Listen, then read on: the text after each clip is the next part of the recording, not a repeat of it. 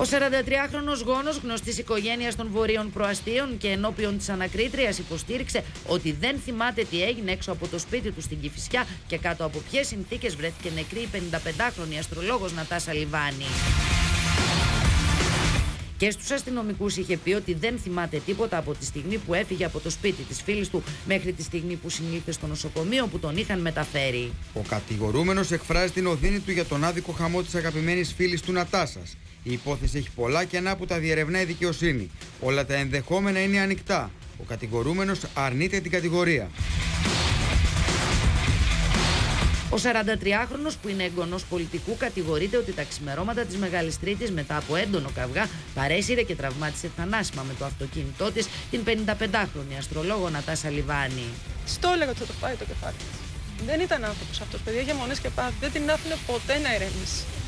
Ποτέ, ποτέ. Νωρίτερα βρισκόταν στο σπίτι της, όπου ήταν και ο γιος της. Η αστρολόγος προσφέρθηκε να τον πάει στο δικό του σπίτι με το αυτοκίνητό της. Εκεί τσακώθηκαν και η 55χρονη που είχε κατέβει από το αυτοκίνητο τηλεφώνησε στο γιο της. Την ώρα που μιλούσαν, ο 27χρονο άκουσε την κραυγή της μητέρας του και ένα θόρυβο και μεταξύ πήγε στο σημείο όπου την αντίκρισε νεκρή ενώ ο 43χρονο ήταν σε ημιλιπόθυμη κατάσταση έξω από το αυτοκίνητο. Ήταν μια σχέση με με σκαμπανεβάσματα, αλλά η Νατάσα τον είχε, τον είχε διώξει και μάλιστα του είχε στείλει και μηνύματα ότι θα πάρω την αστυνομία, μην με ενοχλείς.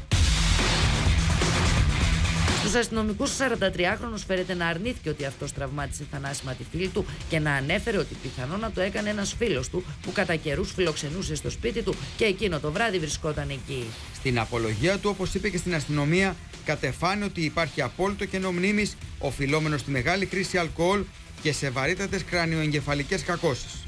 Μετά την απολογία του στην ανακρίτρια, ο 43χρονο κρίθηκε προφυλακιστέος.